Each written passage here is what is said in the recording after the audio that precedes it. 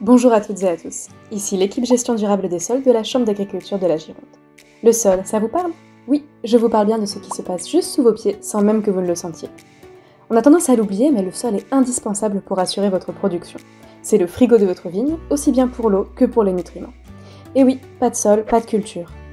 Il abrite aussi de nombreux organismes qui assurent son bon fonctionnement. Sauf que le sol, on l'a pas mal malmené dernièrement. Si vous vous baladez un peu, vous risquez vite de vous rendre compte que certains sont fatigués, tassés, appauvris. Et ça, c'est un problème. Mais c'est dû à quoi? Il n'y a pas de recette miracle pour gérer son sol, et c'est souvent dû à un choix de pratique non adapté à sa parcelle. Mais alors comment on fait pour choisir la bonne stratégie? Eh bien ça va passer par le bon diagnostic. Ce que je vous propose aujourd'hui, c'est de mieux connaître pour mieux gérer votre sol. Et plus concrètement, si vous souhaitez comprendre une analyse de sol, identifier les atouts et les contraintes de votre parcelle, réaliser un plan de fumure, adapter votre choix de pratique et notamment de couverts végétaux ou encore identifier ce qui pousse spontanément, nos formations sont faites pour vous. Pour vous aider, on a développé un ensemble d'ateliers et d'outils sur les sols, la flore et les couverts végétaux pour répondre à vos besoins.